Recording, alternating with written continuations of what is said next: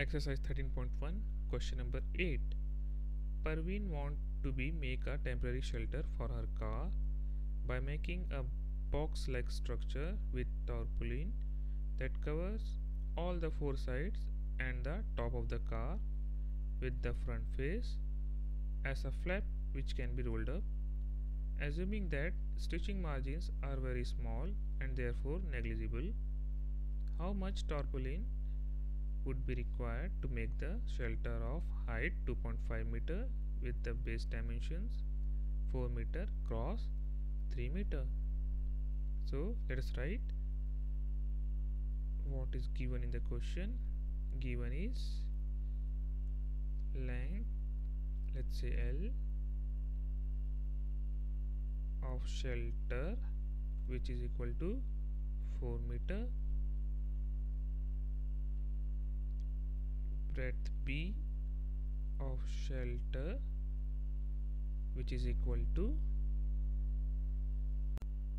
3 meter and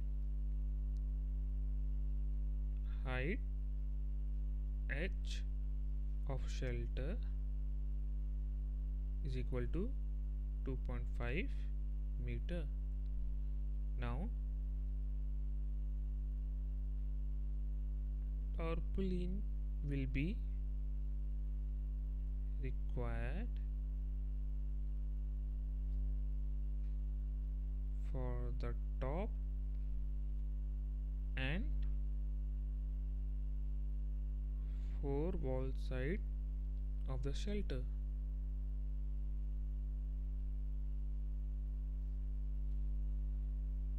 Of the shelter. Therefore area of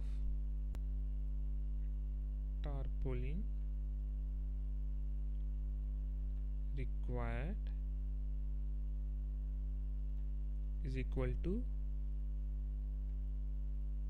2 into length into height plus 2 into breadth into height plus length into breadth.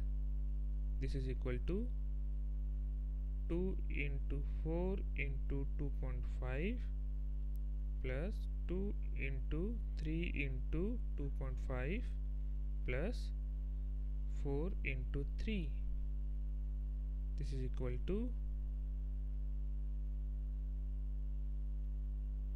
47 meter square. So